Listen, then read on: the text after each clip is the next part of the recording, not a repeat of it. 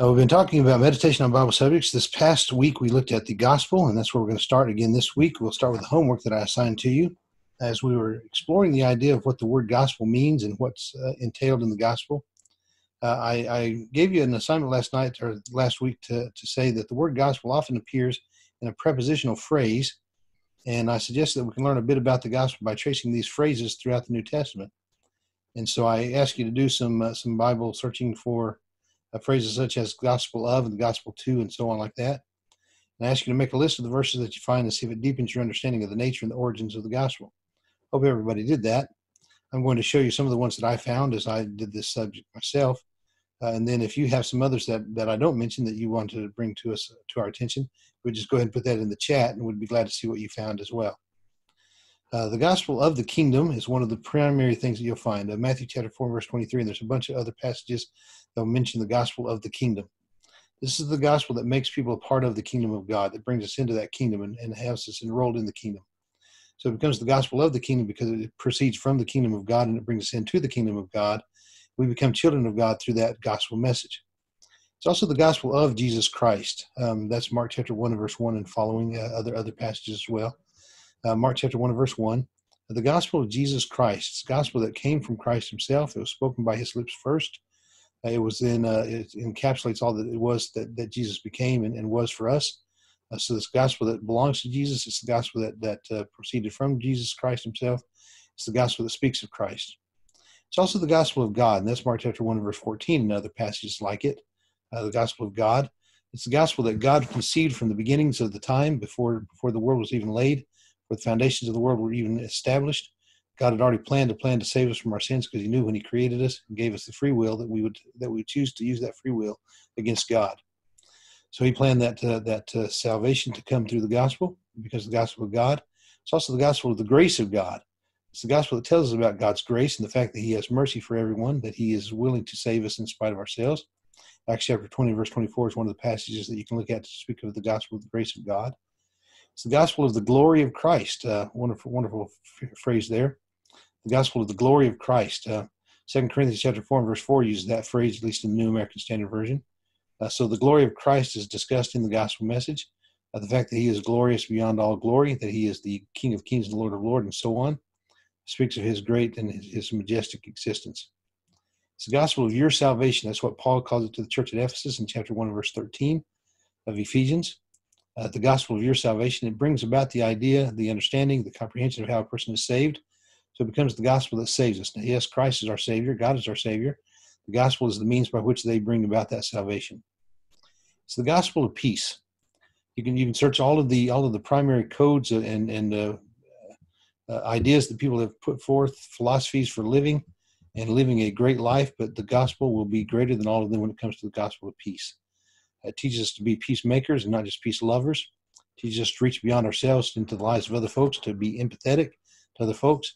It teaches us to promote peace in our lives. So it's the gospel of peace.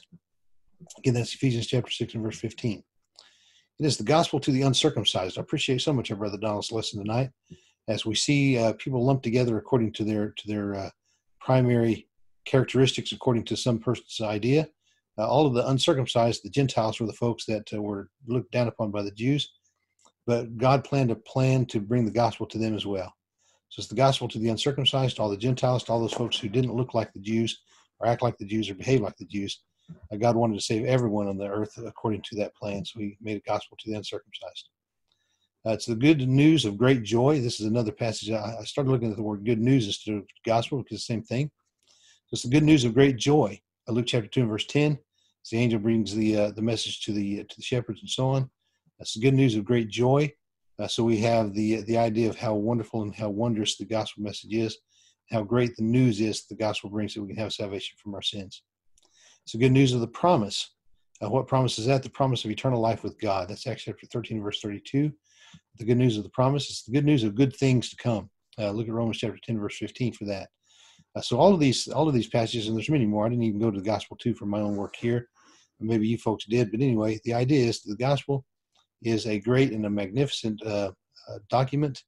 It is a it's a, a plan that God planned for the for the salvation of mankind from the beginning of the world.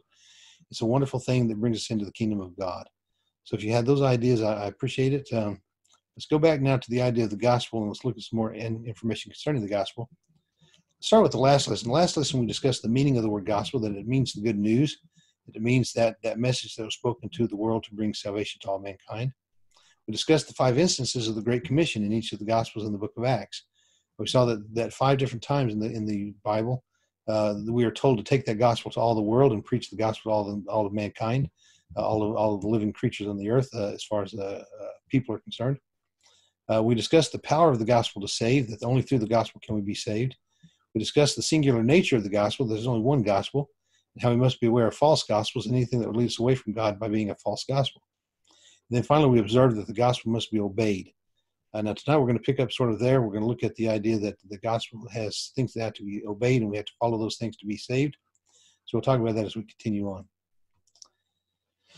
This is going to be the gospel part two. We're actually going to have, in this particular case, we're going to have a gospel part three. We're not going to finish everything tonight on the gospel because it's such a complex matter, and I want to make sure that we don't rush too much. So we're going to look at the gospel part two tonight.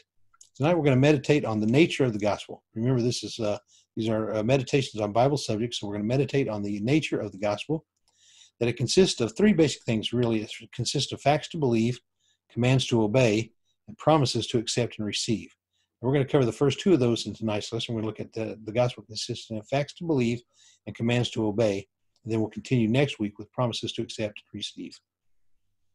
The gospel is facts to believe. Let's talk about that for just a moment. Christ died for our sins and was foretold, as was foretold in the Old Testament scriptures. It's one of the things that we have to believe about the gospel is that Christ died for our sins, that he was foretold in the Old Testament scriptures, that we were looking forward to him coming. When he came, he was accepted as, as uh, who he was by those who knew him best and those who received him as the light of the world. Uh, let's go to 1 Corinthians chapter 15, verse 1 through 3, if we, as we discuss this uh, idea. The gospel has to do with facts to believe. Uh, 1 Corinthians chapter 15, verse 1 through 3, Paul says at the church of Corinth, Now I make known to you, brethren, the gospel which I preached to you, which also you received, and which also you stand, by which also you were saved, if you hold fast the word which I preached to you, unless you believed in vain. For I delivered to you as of first importance what I also received that Christ Jesus died for our sins according to the Scriptures. Folks, the whole idea that Christ died for our sins is the fact that we have to believe about Jesus Christ coming. He came to the world so that he could die for our sins and so that we could have the forgiveness that we needed. That can only take place through Christ If you don't believe that Jesus came to, to die for your sins, if you believe that, as so many folks do, that he was just a good teacher or a good man or a righteous man or whatever, a God loving, God fearing man, then you've totally miss the idea of the gospel. Uh, there are lots of good people in this world, but none of them can save you from your sins. But Jesus came so he died for our sins. We had the chance for salvation through his name. So the gospel is facts to believe. The gospel is also facts to believe. Uh, the same thought in Isaiah chapter 53, verses 4 through 6. Isaiah 53, verses 4 through 6 where we see the old covenant uh, prediction uh, or, or prophecy of the coming of Christ Jesus. So surely our griefs he himself bore, and our sorrows he carried. Yet we himself esteemed him stricken, smitten of God, and afflicted. But he was pierced through for our transgressions, he was crushed for our iniquities. The chastening for our well being fell upon him, and by his scourging we are healed. Uh, Christ came to die so that we could live. He came to be scourged so that we could have freedom. Came to to be chastened for our well being to be uh, what it should be. He was crushed for our iniquities. He was killed for, for our sins to be paid for. All of those things happened because God pre planned it. And so the gospel is facts to believe. We have to believe that Jesus came to, to die for our sins. Look at Romans chapter 6, verse 3 and 4, another thought of the same thing. Do you not know that all of us who have been baptized into Christ Jesus have been baptized into his death? Therefore, we have been buried with him through baptism into death, so that as Christ was raised from the dead through the glory of the Father, so we too might walk in newness of life. We walk in newness of life only because we participate in the death of Jesus on the cross. As we go into the waters of baptism, we're participating, we're obeying the gospel by, by obeying the facts of the gospel. The facts of the gospel is that Jesus came to the earth, that he lived as a man, that he was he was killed and he died, he was buried, he was raised up again. And as we as we're baptized in the in the watery grave of baptism, we uh, participate in the same thing. We die to ourselves as we're put down in the water, we're buried as we're put down in the water, we're raised up out of the water to walk in newness of life. We become new creature, resurrected from the dead as Christ was. And so we obey the facts of the gospel by our obedience in, in baptism. So Christ died, so we have to understand that. Uh, let's talk for just a moment about death, burial, and resurrection facts. Uh, the, the, gospel has to do with the death, the burial, and the resurrection of Jesus. I look at 1 Corinthians chapter 15, verse 4 through 8. where, where Paul says there to the church of Corinth, I make known to you, brethren, the gospel which I preached to you, which also you received, and which also you stand, by which also you are saved, if you hold fast the word which I preached to you, unless you believed in vain. Now, the, the vain believing would be the person who believes but doesn't really believe and falls away. Uh, the, the proper believing is the person who believes to the extent that he changes his life forever. So Paul says, I make known to you the gospel which I preached to you beforehand. You received it, you stand in it, and it is the word, uh, the word that you received that was preached to them as well. So if you hold fast the word, if you hold fast the facts given to, given by Paul, the doctrine that was established by Paul uh, as he preached the gospel of Jesus Christ, uh, then then we will not be believing in vain. So look at verse three. I delivered to you as of first importance what I also received. Christ died for our sins. There's the death. according to the scriptures, he was buried. There's the burial. And he was raised on the third day according to the scriptures. And the idea of the most important thing, the first importance of, of all, is this is the ABCs of, of salvation by Paul. The ABCs of salvation include the death, the burial, and the resurrection of Jesus. That's the core gospel that we have to believe. We have to believe facts about the gospel in order for us to be saved by the gospel. The second thing that I want us to see tonight that, that we need to believe as a fact is that Jesus is our Lord and our Savior. He is our Lord. He and only He is our Lord and our Savior. Uh, let's look at Acts chapter 2, verse 33 and 30, 33 through 36 as we discuss this, um, where, where Peter is preaching on that first gospel sermon a series of messages from the Old Covenant that deal with why we understand and believe that Jesus is the coming Messiah. Was the one expected from before the beginning of time. Uh, look at look what he starts in verse 33. He says, Therefore, having been exalted to the right hand of God, having received from the Father the promise of the Holy Spirit, he has poured out this, he has poured forth this which you both see and hear. And he's speaking, of course, uh, of the appearance of the Holy Spirit and the uh, baptism of the Holy Spirit that took place only on the day of Pentecost. And then the second time that the baptism of the Holy Spirit took place was in the in the uh, bringing of Cornelius into the fold, uh, so that so that both the Jews were baptized by the Holy Spirit and the Gentiles were baptized by the Holy Spirit. It's the only thing that we ever will discuss in the, in the Lord's church about the baptism of the Holy Spirit. From that point on, we're going to talk about water baptism because water baptism is what we participate in, not Holy Spirit baptism. All right. So he's poured forth this, which you both see and hear.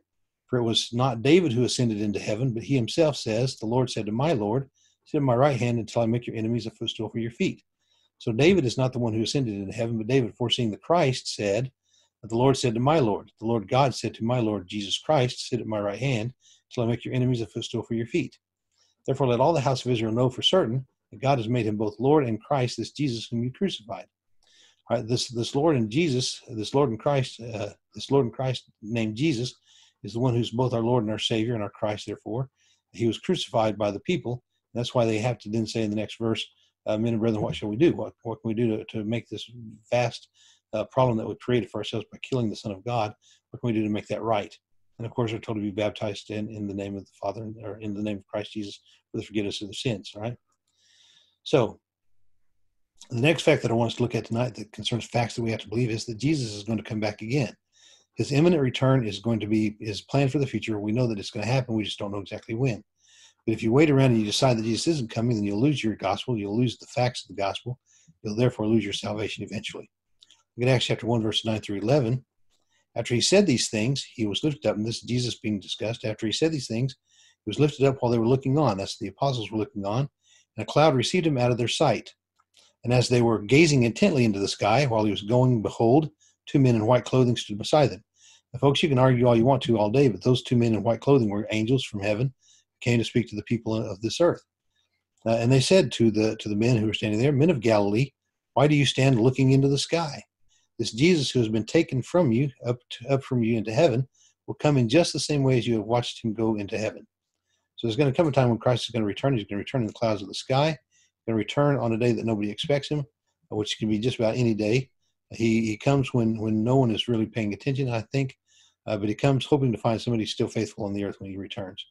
I'm hoping that we will be those people that we will continue to be faithful to him, so we'll continue to believe the facts of the gospel uh, including the fact that Jesus is coming again someday, and we just don't know when. Acts chapter 17, verse 30 and 31, same thought.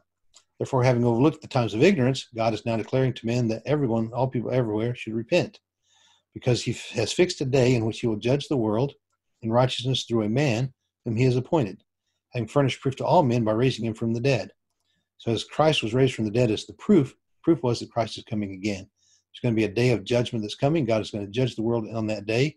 He has fixed the day in which it's going to happen. Only God knows when that day is. Even Christ didn't know when he was on this earth. Uh, but God knows when that day is going to come, and he will send Christ when the time comes and when the time's right.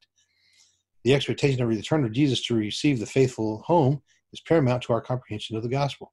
If you don't expect that Jesus is going to return, if you don't expect that he's going to take us to be with him, then the gospel is empty for you and empty for me.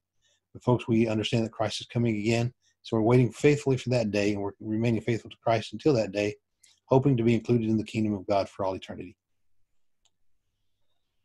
Not only is the gospel facts to understand and facts to hold on to, it's also commandments to obey. Commands to obey. So, in addition to being facts to believe, the Christian must also be obedient to the gospel message. That has many ramifications for the faithful Christian because if we do not believe and obey the gospel, we will be lost eternally. Uh, the command to believe is vital to our obedience to the gospel. If we're not going to believe and if we're not going to obey, uh, then we will not be will not be included in that heavenly call. So, what kinds of things do we obey? Well, let's start with Mark chapter 16, verse 15 and 16, where Jesus says to them on that day, Go into all the world and preach the gospel to all creation. Now, yes, the preaching of the gospel is one of the things we're going to be commanded to do, but that's not really what I'm looking at at this, point, at this point in time. Verse 16 is what I want to look at. He who has believed and has been baptized shall be saved. He who has not, he who has disbelieved shall be condemned. So we have to believe and obey. Uh, the belief is one thing. If you believe that Christ is Jesus is Lord, but you're not baptized into his, into his possession, you've only done part of the gospel. Uh, you can't get into Christ any other way than to be baptized into his name. So if you believed and have been baptized, if you believe and then obey the baptism call, then you'll be saved. But if you disbelieve, you'll be condemned. The person believing and being baptized is the one who will be saved. Belief without action is insufficient for salvation. We need both of those things for us to be saved. Look at Romans chapter 1, verse 15 and 16. Paul says, So for my part, I am eager to preach the gospel to those who are also in Rome. For I am not ashamed of the gospel, for it is the power of God for salvation to everyone who believes, to the Jew first and also to the Greek. Paul is clear that the gospel comes with power. That power is limited only to those who are who are going to be believers. A belief is imperative to salvation, but also obedience to that belief is imperative as well. Power comes to the person who's going to be obedient through the gospel message to that gospel message itself. We must confess Jesus to be saved. This is the third of the, of the uh, things that we have to do to obey in order for us to be saved. We must confess Jesus to be saved. Romans chapter 10, verse 9 and 10, and then uh, we'll look at in, in, a minute at how this starts to stack up together. Look at Romans chapter 10, verse 9 and 10. If you confess with your mouth Jesus is Lord and believe in your heart that God raised him from the dead, you will be saved. Now, folks, this is not the only message that's preached by Paul, even in the gospel in the book of Romans is not the, the end all and be all of everything you have to do to be saved. Paul is making a statement concerning confession and belief, but he does not disclude or uh, uh, he does not uh, uh fail to include uh, or, or, or, leave out the idea of baptism because he doesn't say it at this point in time. He's already talked about baptism in great detail in chapter 3. Again, chapter 6, in even greater detail in chapter 6, he's talked about baptism as being necessary for salvation.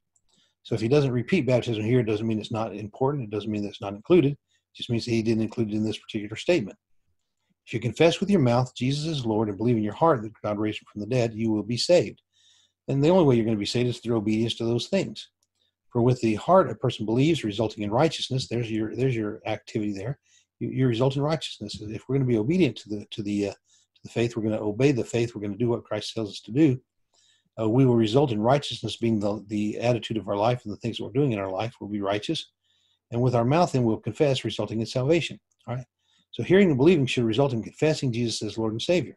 Failure to do so is failure to be obedient, and therefore failure to be saved. can't be saved if we're not going to pro- profess Christ as Lord and Savior in the first place. We have to be willing to speak up on behalf of our Savior and to speak His His name into the world and preach the gospel message to, to those who are lost. Next thing that we have to do by way of activity that, that we have to do uh, by way of obedience is we have to repent of our sins. Knowing the gospel but not repenting is going to be empty as well. Luke chapter 24, verses 46 and 47. And Jesus said to them, Thus it is written that the Christ should suffer and rise again from the dead on the third day. There's part of the gospel. That's the facts to believe. And that repentance for forgiveness of sins would be proclaimed in his name to all the nations beginning from Jerusalem. Now, this is part of that statement of Paul of Luke's uh, statement concerning the Great Commission that, that is important for us to realize that we are going to repent of our sins and, and repentance from sins is going to be proclaimed in the name of Jesus Christ uh, to all the nations beginning from Jerusalem. So we all have the opportunity to to be resurrected from our sins and, and uh, resurrected from the dead, I mean, with our sins paid for.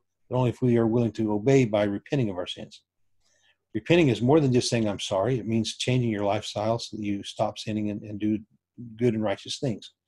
So we need to repent of our sins and return to Christ Jesus and do what He asks us to do. We ever hope have hope to be saved. Acts chapter 2, verse 36 and 37 will be another statement concerning our repentance. Verse 36, we were there just a moment ago. Therefore, let all the house of Israel know for certain that God has made him both Lord and Christ, as Jesus whom you crucified.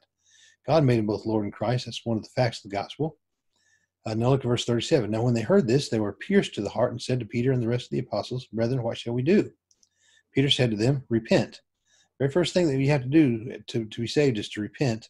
After you hear and you believe, then you must repent. And each of you be baptized in the name of Jesus Christ for the forgiveness of your sins. You will receive the gift of the Holy Spirit. So we are to be obedient to Christ in repenting so that we can then have the opportunity to spend eternity with God. As we repent of our sins and we live to be like Christ, then we have the opportunity to, to participate in the, in the gospel with Jesus himself.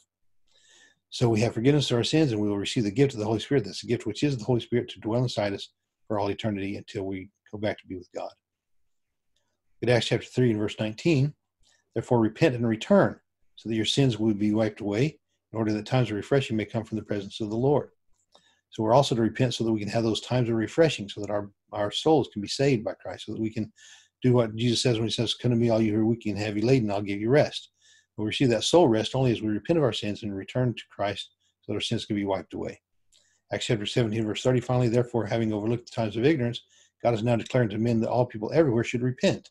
So repentance is one of those things that we have to do by way of obedience to the gospel uh, to the facts of the gospel, we have to repent of our sins as a part of participating in that gospel. And finally, folks, for tonight, we must be baptized for the remission of our sins.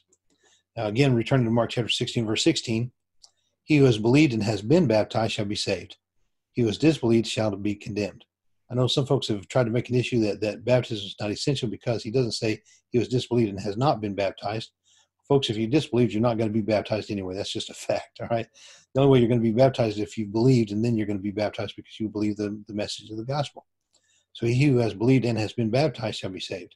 Those two are both important, or you will not be saved. Look at Acts chapter 22 and verse 16. Now, why did he delay? This is uh, this is Paul uh, reciting what happened when Ananias came to him.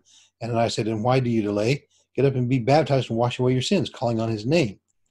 so the, the washing away of the sins takes place at the point of baptism, not before. Uh, Paul had had an amazing uh, spiritual journey from the time that he was blinded on the road to Damascus, and three days of receiving immense visions from Christ that left him physically impaired for, forever. And and yet, uh, when when when uh, Ananias comes, he says you have to be uh, baptized and have your sins washed away that period of time, and not washed away by the waters of baptism, but washed by the by the blood of Christ, uh, taken care of by the blood of Jesus in the waters of baptism as he was baptized. Then Galatians chapter 3, verse 26 and 27. For you are all sons of God through faith in Christ Jesus. For all of you who were baptized into Christ have clothed yourselves with Christ. See, you're not in Christ until you're baptized into Christ. You're not clothed with Christ until you're baptized into Christ. No amount of praying for Christ to come into your heart is going to result in Christ coming into your heart if you haven't obeyed what he told you to do. One of the things he said for you to do is to be baptized and, and then call on his name. So you are sons of God if you have faith in Christ Jesus, but all of you who are baptized into Christ are clothed yourselves with Jesus, not before. So we don't become children of God until we're baptized into his name. So our conclusion tonight, the gospel is a series of facts about Jesus of Nazareth, the eternal Son of God, which must be believed. It's also a series of commandments which must be obeyed in order for salvation to be granted. Next week, we're going to look at the gospel make certain promises which we need to understand for our salvation to be ensured to us and for us to have the blessed assurance that Jesus saves. So the, I, am really especially looking forward to next week because I don't think we spend enough time speaking about the the promises that we have through the gospel. Because I think if we did, we'd be so assured, so so full of assurance that we couldn't help but but speak out in the name of Christ Jesus. So I hope you'll be back with us this next week as we have an opportunity to discuss the gospel from the standpoint of the uh, of the promises that it makes to us and that we can believe in if we have faith in Christ Jesus. Now let's go ahead and talk about our homework for tonight. Uh, uh, using the Bible search program or concordance. I'd like you to do that again this week, but this time make a list of support verses for each of the following requirements of the gospel. And I ask you to please use verses not already included in this lesson. Now, I only scratch the surface in this lesson of, of verses that talk about the, uh, the hearing the gospel, believing the gospel, repenting of sins, confessing the name of Jesus, being baptized in water baptism. So I'd like you to make a list of those things, all the things you can find, if you will, make it as complete a list as you possibly can because it will serve you really well in the future when you're trying to teach someone else how to obey the gospel. If you understand how hearing the gospel is important that it is, you understand that believing the gospel is very important and, and speak of how that's done. You can talk about repenting of sins and have several verses to discuss repentance, you talk about confessing the name of Jesus and you have a couple of verses or so to talk about confessing Jesus, then especially if you have some some idea of why water baptism is necessary, you can teach anybody the gospel message so they can believe anybody. Uh, so I, I, pray that you'll do this uh, homework assignment. If you've not done any of the rest of them, please do this one. It'll serve you well in the future as you continue to try to do what Christ told you to do. That's to go into all the world and make gospel, uh, make disciples of all the nations. As you preach the gospel to them, baptizing them in the name of the Father, the Son, and the Holy Spirit, the forgiveness of their sins. That's our lesson for tonight. I thank you for your time, and I will now turn it back over to Lynn for a closing song, and then we'll go to a closing prayer. Just a second.